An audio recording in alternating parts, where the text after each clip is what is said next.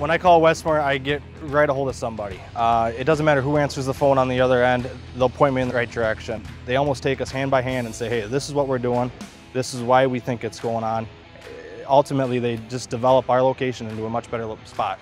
Most of the time we can call in and they'll try a few things over the phone first before they send a tech out. So if they can fix it over the phone, it's it's a win-win for both of us. They don't have to send somebody out and we're up and going a lot quicker. They're very, very time sensitive and you know they don't want to shut us down any more than we want to be shut down. If you can do it over the phone, it's so much faster, so much easier, and so much more helpful for a lot of us managers because we get to do it hands-on. We get to understand what the problem is. We fix it ourselves. So that way we learn from it. They always make sure that there's nothing else that can be done over that conversation that makes things wonderful.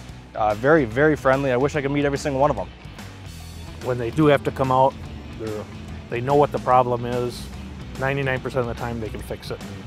Everybody that comes in those vans then is well clean cut, uh, easy to talk to, ready to rock and roll, and I think it's the professionalism is just through the roof with the Westmor.